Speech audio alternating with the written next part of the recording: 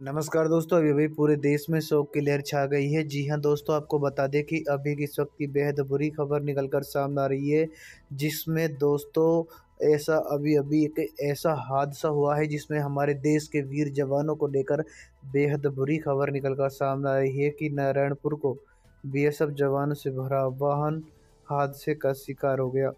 बता दें कि अंतागढ़ के पास अनियंत्रित होकर मोटा डोर पलट गई। इसमें सत्रह जवान घायल हो गए हैं।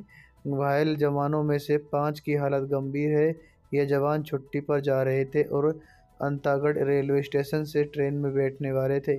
सभी को इलाज के लिए जिला अस्पताल लाया गया। हादसे में घायल जवानों के से नारायणपुर पुलिस अध्यक्ष पुष्कर कुमार शर्मा मिलने पहुँचे।